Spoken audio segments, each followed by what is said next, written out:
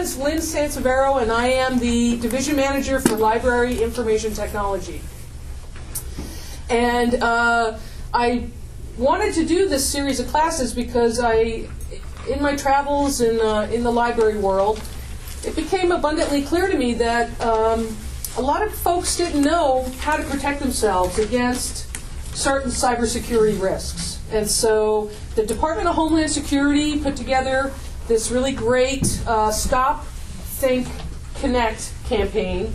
And we decided to bring it to the libraries, and wow, look at all you guys. So we've done one class already for parents and educators, and we've done one class for kids and their parents, and this is a class for uh, older Americans, and then of course we're going to have one other class that's going to focus on small business, because as a small business you are actually more at, uh, at risk of getting some kind of information hijacked.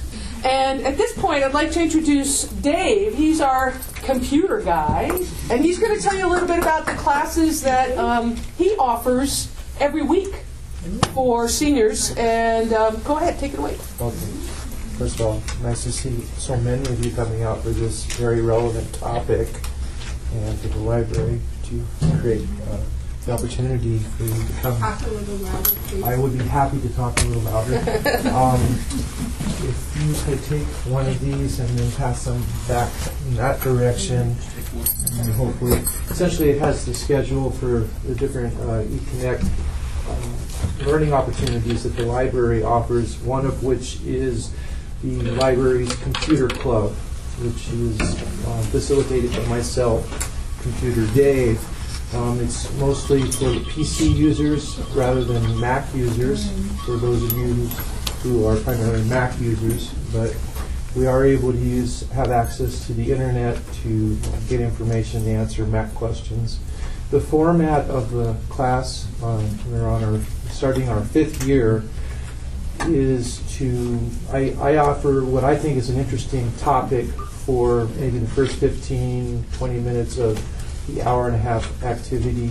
It meets the third Wednesday of each month from 4 to 5.30, if you want to put that in your calendars, but the date is on this brochure. And the, the whole purpose of the class is for you to have the opportunity to pick my brain. So, what is Stop, Think, Connect? So, um, President Obama, you heard him. Anybody watch the speech last night? He talked about cybersecurity, obviously. Um, so, he tasked the Department of Homeland Security with uh, creating an awareness campaign for all citizens to try to help us. Um, help them out and help ourselves out, and understanding what cybersecurity means on an individual level. Uh, the Stop Think Connect campaign was launched in 2010 with uh, the National Cybersecurity Awareness Month. October is National Cybersecurity Awareness Month, um, but it's relevant any month of the year. Um, and so, what we're trying to do is challenge you to th- the American public to be vigilant about practicing cyber hygiene, being on the lookout for cyber events, how to protect yourself, how to protect your personal information, and just learn about how to stay safe online.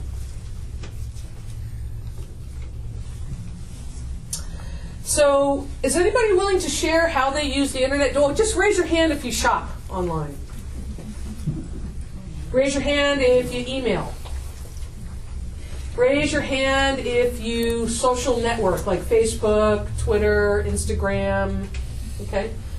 So everybody raise their hand if you have, my, I, I left mine in my desk because I didn't want it to ring, but if you have a smartphone, a phone that's connected to the internet, pretty good amount of us. So what you've got in your pocket with a smartphone is a computer that's connected to the World Wide Web all the time.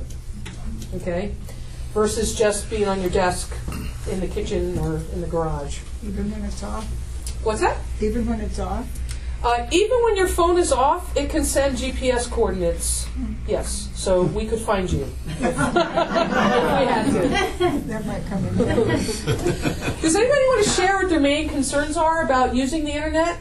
How, are you worried about stuff? Or about what you're hearing? Or yeah, and getting my uh, financial bank is whatever stuff hacked. Right, or stolen. Stolen. Yeah, hacked is kind of a loose term, but you know means a lot of different things. I mean, they have hack your toaster so it you know burns hotter.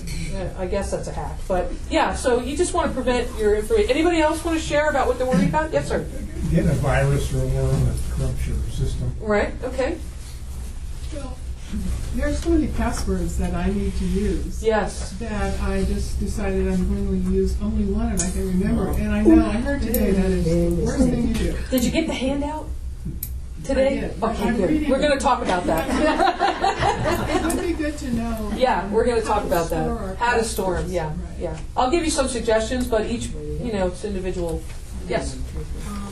I've been wondering whether I need to buy the, the security for Mhm. the internet. I mean, Uh-huh. Okay. And do you have a PC or a Mac? PC? Yes. What do you think the answer is for Mac? Yes. Yes. Yes. Yes, ma'am. Um, I would like to know if my telephone, my smartphone, Yes. needs the same kind of software that I might use on my home computer. What kind of phone do you have? I have a uh, Android. Yes. Yes, sir.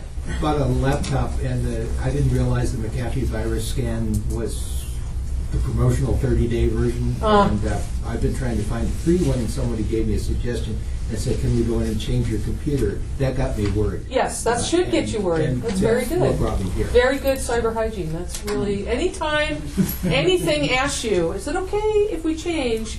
You have to stop, think, and then connect. So we'll talk a little bit more about that. Uh, has anybody ever had their identity stolen? Raise your hand. I'm the only one? Come on. Of course, we may not know. You may not know. Yeah, we think. Yeah. Yeah. I was going to say not yet. and Not that yet. was my primary. It happens. It happens. Um, I wouldn't say my whole identity was stolen, but I had credit card numbers stolen. And I'm a veteran, and uh, someone uh, at the Veterans Affairs Department um, took home a laptop that had all of our like a million or two million veterans information on it. I was one of those people. That was another one. There you go. That's right. So they gave you free uh, mon- credit monitoring and identity monitoring. Yeah, it happens.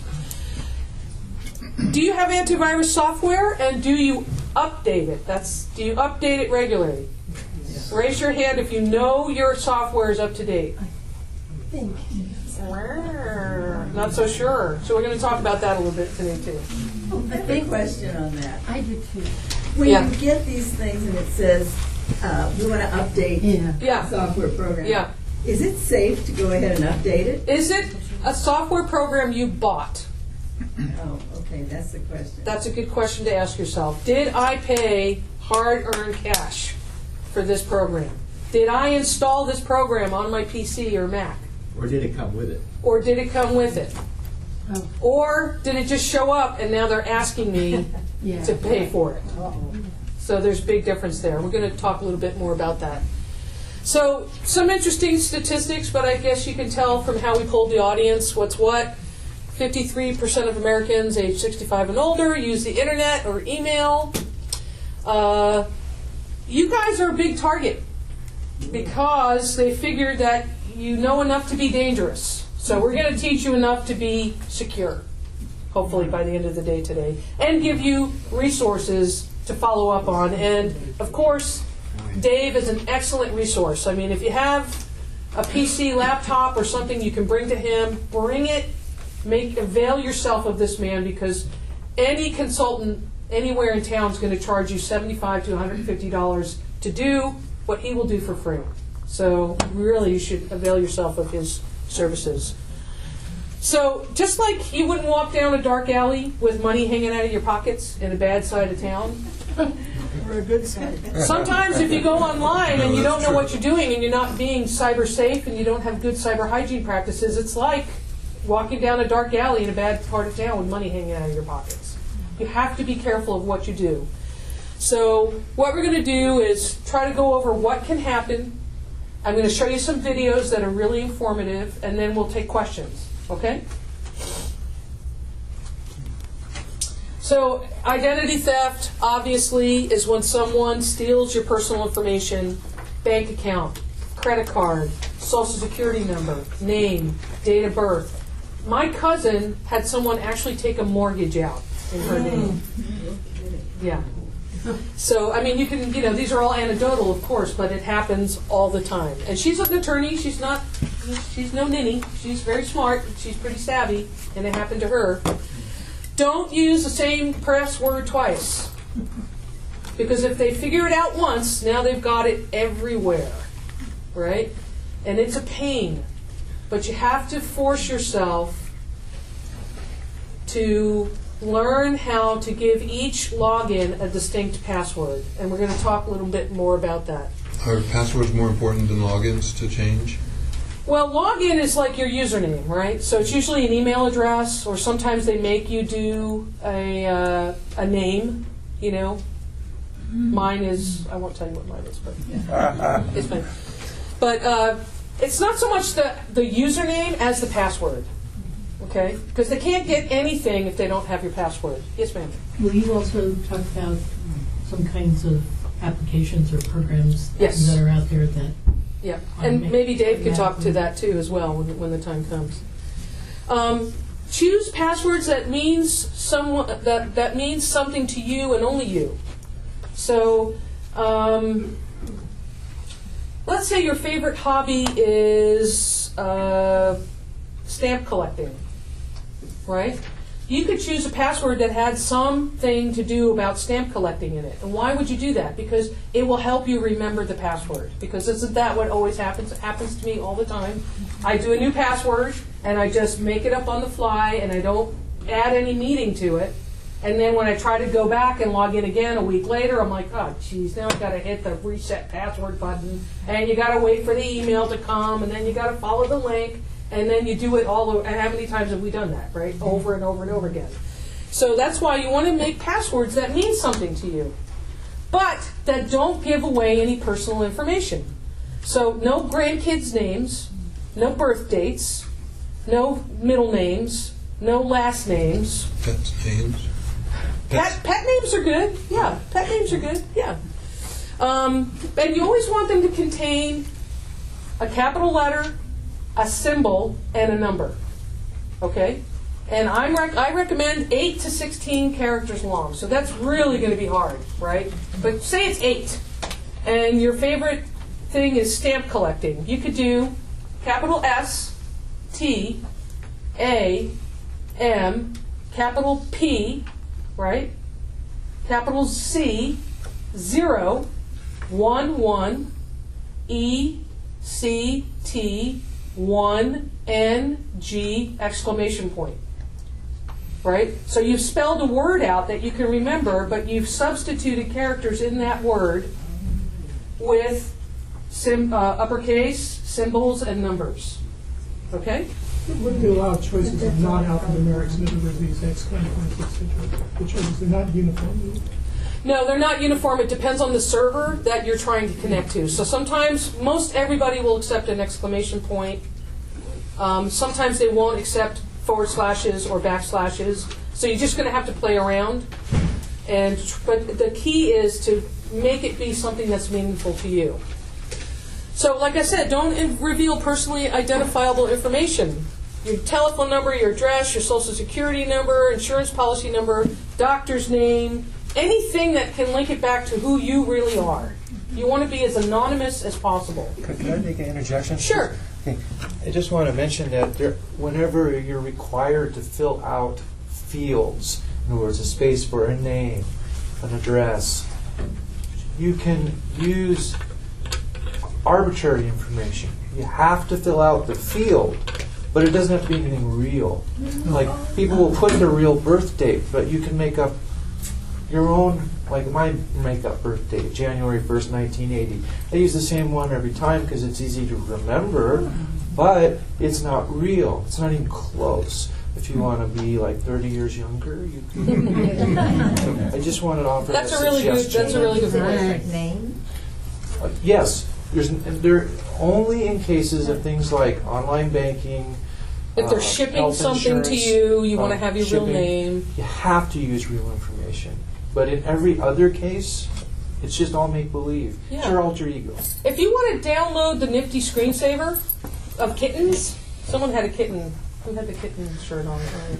But if you want to download a Nifty screensaver, and they're going to ask you for an email and your name and your age, which sometimes they do, because what's what are they trying to do? To what Sell end? stuff. Not only to sell you stuff, but they're trying to figure out. Big data is trying to figure out who you are, so that they can market to you and drop cookies on your browser and, and figure out how old you are and figure out where you live and figure out what you like. So just really good point. You know, I, when I'm doing that stuff where I know it's not absolutely essential that I put in who I really am, you know, I'll I'll be born in you know 1974. Um, yes. I watch license plates, and when I see a license plate that triggers something in my mind, Yeah. I write that down, and then I Yeah. Uh, create a Yeah. that Yeah. That's a good analogy. Like you know, a license plate. You know. not mine. No. No. so avoid opening attachments, clicking on links, or responding to email messages from unknown senders or companies that ask for your personal information. Does anybody in here believe that your bank would ask you to fill out in an email your personal information? They will never do it. It will never happen. Do not trust it. The IRS is not going to ask you to fill out a personal information. It may look 100% legit. You may get this email that says it has the IRS seal on it. And it says, we need urgently to contact you about, you know, your tax refund. Please put your name and your date of birth and your address in here. Do not do it. No reputable agency anywhere in the world, private sector, public sector, anywhere, will ask you to do that. Ever. If you have doubts, pick up the phone, call that agency directly, and ask them, are you trying to get in touch with me via email to get my personal information? I guarantee you they will say no. Okay? I can't stress that enough. UPS and FedEx, we have a package for you. Oh, that's a good one. I, I got one today. I manage. I have I have eight people in my department. I got one. Employee documents. I'm like employee documents. Wow, that sounds good. And then I had to stop. I had to think, and then I was like spam. I have no employee documents. But it's that initial hook that they're trying to get you with. Mm-hmm. Yes, sir. On that phone call, be sure to get the phone call off your statement, not off. Yes, exactly, exactly. Because people can spoof websites. Do you know what I mean by spoof? Seem Um, let's say I own www.phonecall.com and I'm a legitimate business, but someone can spoof my website so that when you type in www.phonecall.com, it actually goes to a website that's not my website. It bypasses my website and can give you bogus information. Excellent point. When you're making that phone call, get it off your, you know, tax refund, get it off the IRS, you know, you have to think smart. Stop, think, connect. Yes, ma'am. If you've been spoofed, though, Yeah. when you look at the uh, what do you call it, the header, it won't. It, it'll it'll say a different thing. Won't it? I mean, in other words, you Possibly, can't comment and- your somebody's Sure, website sure. and say that it's theirs. Domains get commandeered all the time. But won't it be slightly different? You want to depend on that, or you just want to pick, you know, So pick they up your can. bill? I guess that's a question. Yeah, they can do that. Someone could do that. Yes. So if I've ordered something on Amazon, I always get these emails that say Sure. Amazon wants to confirm that they shipped to me. That's okay, right? Amazon wants to confirm that they ship, know they, they're saying this is confirmation of your shipment. but they're not asking you for any information. They're just sending you an email, an informational email. That's true. but That's different. Sometimes Uh-huh. I'll just have ordered something and Uh-huh. I get some uh, confirmation of shipping and then they ask for something. I'm afraid to click on that. Well, I would be afraid too. Yeah. I would go onto my Amazon account. Instead of clicking on the link in the email, I would go on, log into my Amazon account, and any messages that they want, any information that they want from you will be in your account. So take it out of that clicking the link in the website, uh, in the email. Yes, sir. How do you deal with, you're not on social websites, but you have friends that are, and then all of a sudden, twice two people that have been on Facebook emailed me, then later they emailed me, don't open those documents. Yeah, well- They've hacked my account. Yeah. How do you deal with those kind of delicacies? Delete. It's called a delete button.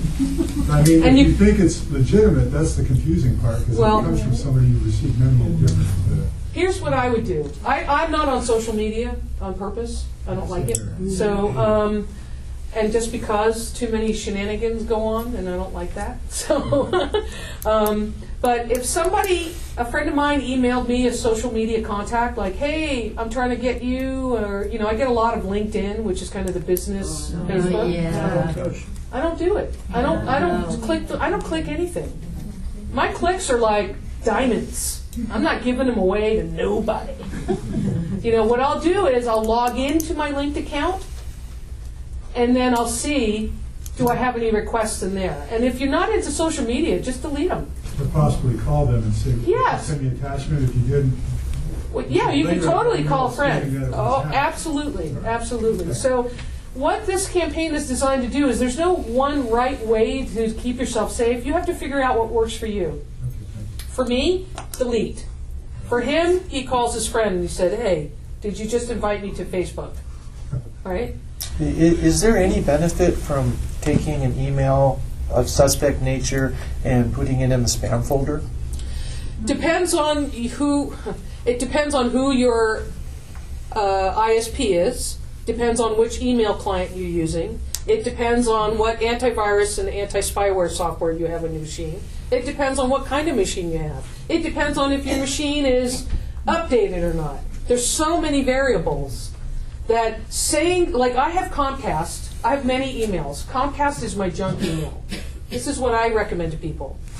Get a junk email that's just for stupid stuff, like ordering from Amazon, like buying stuff online, like, you know, and then there's my real email, who's the real me, right? So I have this junk email for Comcast, so every time I buy something online, which is a lot, it goes into my Comcast account.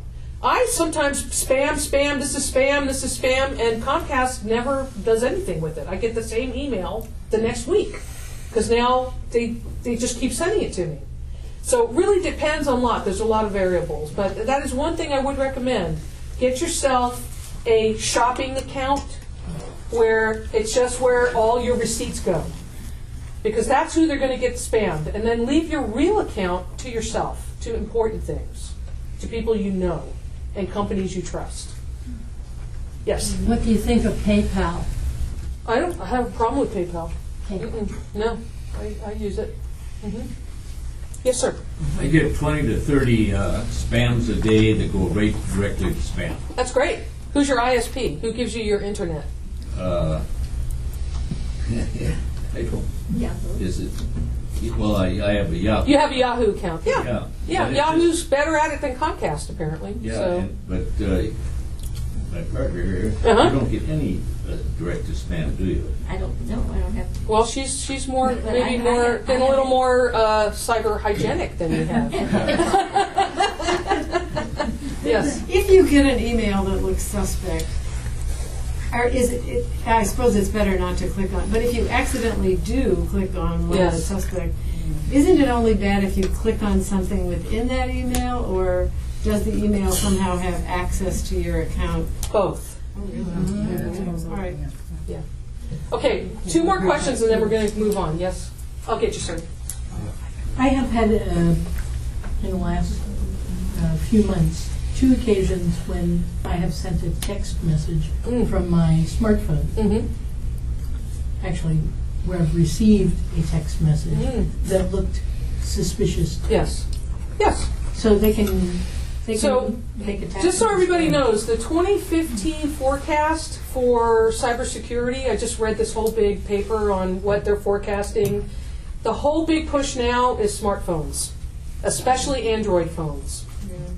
So now the hackers have figured out, and the, the thieves have figured out, that we all have these things, these computers in our pockets, and that is where they're putting the bulk of their efforts to try to fool you because most of us don't have anything on our smartphones that, that protect us like we do on our computer. So now we're starting to get onto them, so now they're going to shift their focus from PCs and Macs to smartphones. One more in the gentleman in the back. Yeah, you almost can't buy an airplane ticket now without buying it online. And Right.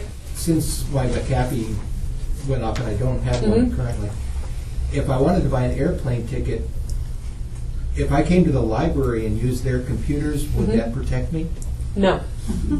Okay. You're not protected. You're not protected anywhere. You're not protected anywhere. You need to realize that you can do everything you can do, and you can still get hammered by somebody who wants to get you.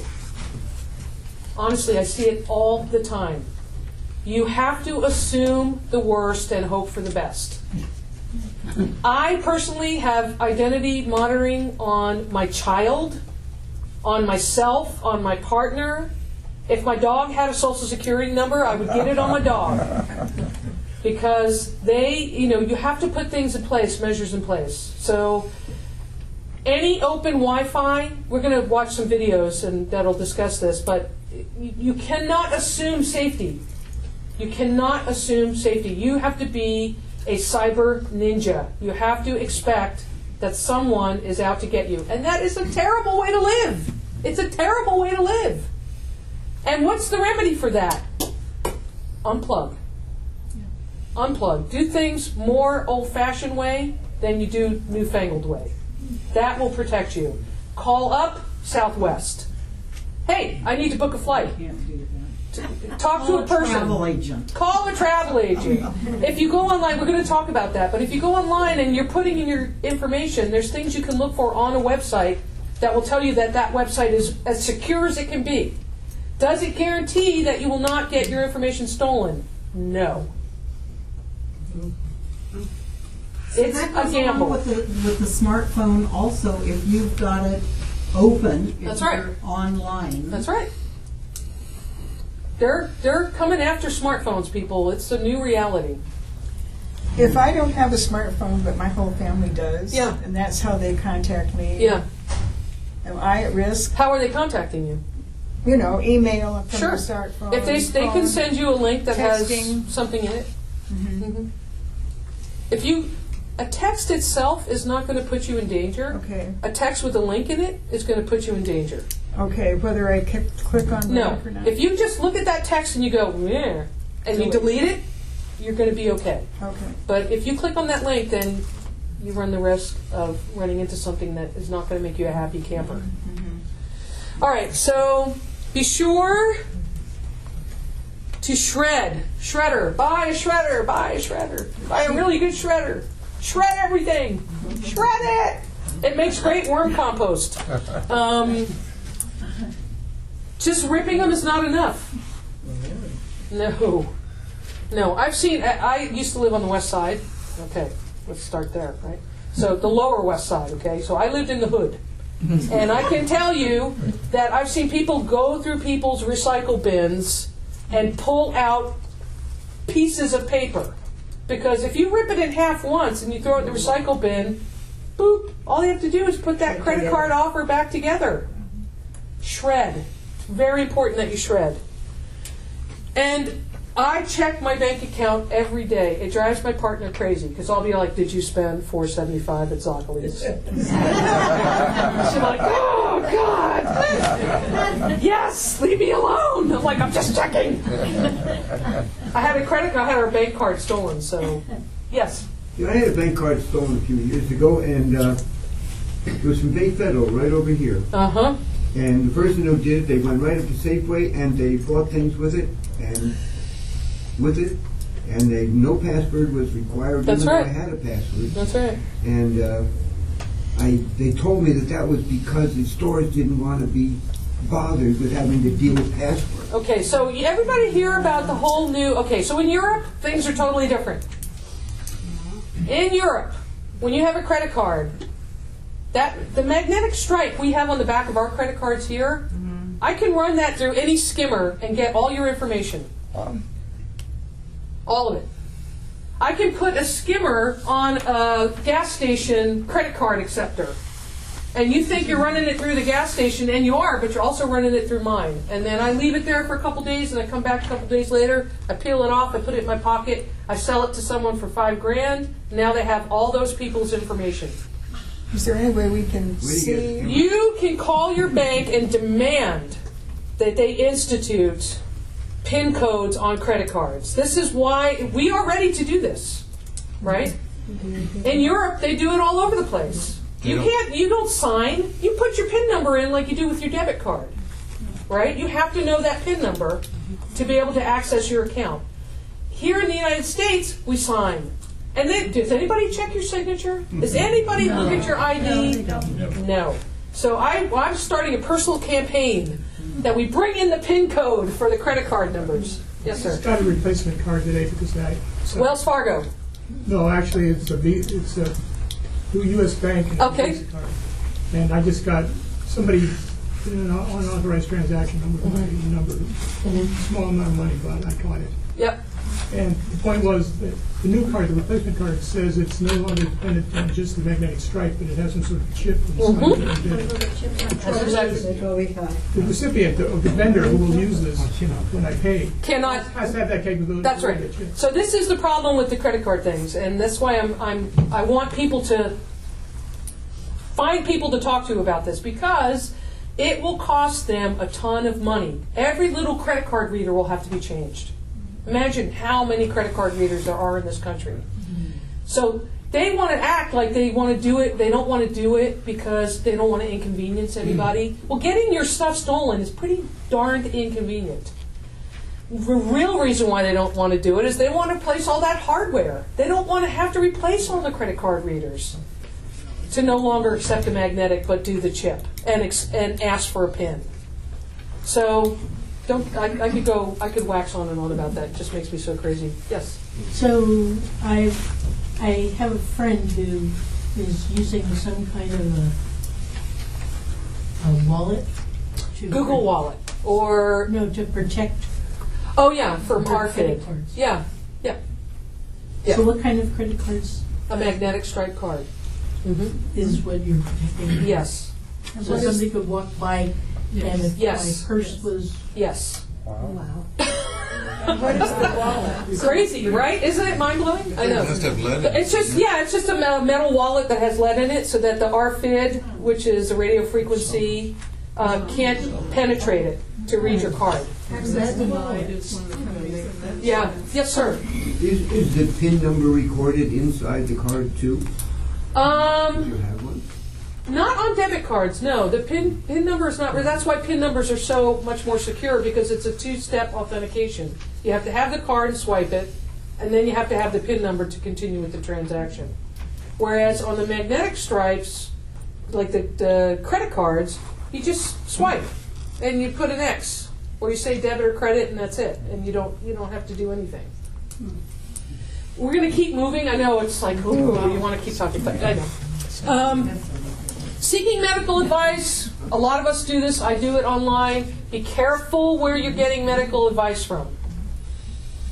Don't go into chat rooms and see that some lady tried, you know, chondroitin, and now her knee is totally better. Or, you know, go to WebMD, go to, you know, um, uh, Mayo Mayo. Clinic. Mayo Clinic. Clinic. You guys know, you know, don't rely on hearsay. Make sure that it's coming from a reputable source. Pharmaceutical companies create websites, you know. Oh, we were watching. I love the names of the farm, the, the drugs that they do now. We were watching a commercial the other night, and we were all laughing about it. It was like Latuda or something, and you know, it was just like, who comes up with this? Anyway, uh, they, you know, they'll make websites that are like look like oh, legitimate, legitimate medical website. They're trying to sell you something. That's not a good place to look for medical information. Look for sites ending in edu for education or .gov for government. Okay? So, like,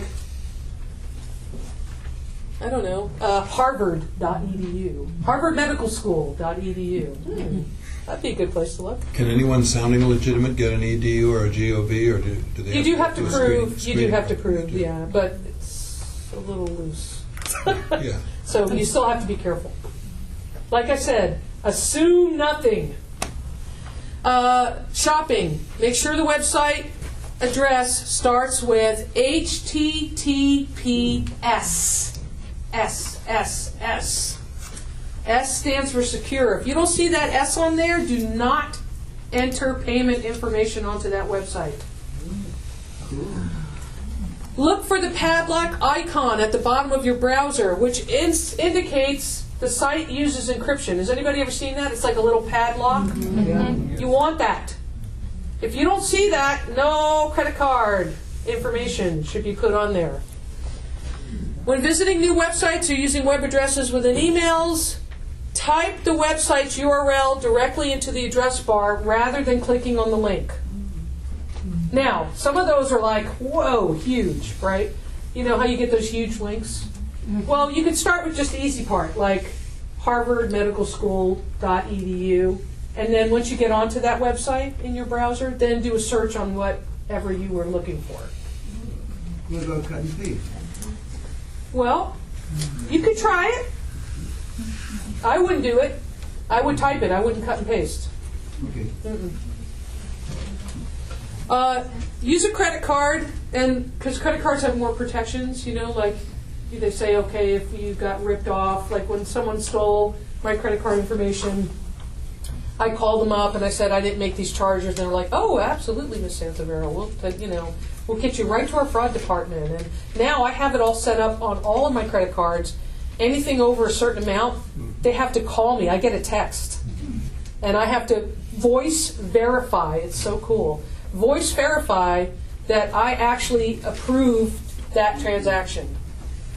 And then once I voice verify, then they let it go through. How do you do that? Um, let's see. I use. Uh, I'm trying to remember the name of it. Let me, give me a minute. I'm getting old, so I have to. Welcome to the club. Yeah. I figured you guys could relate to that. Anyway, uh, here's some resources: AARP, the FBI, SeniorNet.org. I was checking out this. It's a pretty good website. It's got all kinds of tutorial videos and all kinds of good stuff. And then fraud.org is another good one. So get involved. If you know friends who don't have this information, start talking about it. Um, I wouldn't download and distribute stuff. I mean, that's taking it a little far, right? And, hey, stop thinking connect, you know. Just, you know, get involved, talk to people you know about it, tell people you know uh, about what's happening out in the real world, and see if you can raise some awareness to stop, think, and then connect. And again, it's what each person is comfortable with, what risk level you feel okay about. So for me, I would say to myself, let's see, I know my antivirus and anti spyware software is paid for, it's up to date. I've scanned my computer weekly, and I know it's clean. I know that my home network is a secure network, it's uh, password protected. I know that all of my bookmarks are HTTPS book, bookmarks and that they're secure servers. And so I know that when I close my browser, and if I have that checked where it says clear all your history, that it's inconvenient, but my bookmarks are safe, my computer's been scanned, I have antivirus and anti spyware that's up to date. I feel pretty safe about that. Am I 100% safe? No. no. Yes, sir. Does it make any difference when you're done with your computer for the day, when you put it to sleep, hibernate, or turn it off? I would, uh, yeah, I would, uh, personally for me, I'd turn it completely off. Yeah. Here at the library, on our public PCs, we use Bit Defender, B-I-T Defender. It's a really good piece of software, very lightweight, very easy on the PC. Um, the other thing we use is on our staff PCs, we use Trend Micro. Trend? T R E N D Micro, which I think is also It's a a virus and antivirus. Yes. How about Malwarebytes? Any? Malwarebytes is good. It's good. Yeah. And these are gonna work for, uh, see, a lot of us have Apples, these are gonna work for Apples. Yeah. So let's let yeah let's talk about that. So a lot of people think that because they have a Mac, they don't need to put antivirus and anti-spyware software in the machine. Please don't delude yourself. Okay. Here's what's happened. For the last 20 years, 95% of all computer users have been PCs. If I'm a guy or a person who's trying to do bad things to computers, why would I waste my time on 5% of the population? Right? But Linux, which is really Unix, which is really what Mac is now. Macintoshes are Unix machines. They're based off of a Unix operating system kernel. More and more they're finding exploits because the servers that run the web are Unix servers. So hackers have figured out that they need to find exploits in Unix machines. That means Linux, Debian, Red Hat, uh, Mac OSs. So more and more, you will become the target of a, a nefarious person and people who are trying to hack into your system. So you have to, have to, have to have antivirus and anti-spyware. Now, what flavors of that? I'm not so up on the Mac flavors. Um, you could go to, I'm sure, like they have a Mac review of some kind. Do you know a Mac magazine, or like they have PC review that reviews all of these things? I would try to find a reputable place where they review those different offerings and pick the best one. Yes, sir. If you want to change your spyware protection, Yeah. should you remove? Yes. Oh, that's a really good point. And then So here's the thing. I own Bitdefender, and Dave owns Trend Micro, and we do not like to play together. And so what that means for you is if that both of us are on your PC, you are screwed. because I will stop him from working, he will try to get me to stop working because one of us wants to be the dominant software on the PC. It is not a good idea. More is not better when it comes to antivirus and anti-spyware. You want to have one. Uninstall one completely, and then reboot your machine, and then do the install on the of the new one. Now, don't you have a window there, though, where you might be uh, uh, vulnerable to something if you remove one? Well, if you unplug your computer from the internet, you won't be vulnerable. So here's the thing about PCs you buy. They are loaded with bloatware. And I'm sure Dave will back me up on this. Bloatware is stuff that they think you might want to buy that you don't need. Okay? So the first thing I do when I get a PC here at my team, we get PCs all the time. We completely take all that stuff off and we put on only what we want that we know that works. So you might see on your new PC McAfee, Trend, Bitdefender, you know, all of, and they all are looking for you to click on the thing that says buy me. Right? Uninstall all that junk. Go online, find a review, see which one you like, download it or buy the disc, and then install that one. Not only is there that, there's like, oh, print from home. Uh, you know, uh, you know, order order print cartridges. HP does this thing where there's tons of bloatware from HP. All right, so you just have to really think about what you want. The less is more. Less is better. What do you mean by that? Well, um, I personally won't have a ton of stuff on my computer. I just don't. Because my computer is happier when I don't have a ton of stuff on it. How do you know what you have, though? You have to in a in a Windows machine. You have to go into program, and you have to go into the control pa- panel, mm-hmm. into programs, and what's it called now in Windows 7? Depends on the operating system. Add remove programs. Add remove programs or programs, files, and features. Mm-hmm. And if mm-hmm. you need help with that, he's your man.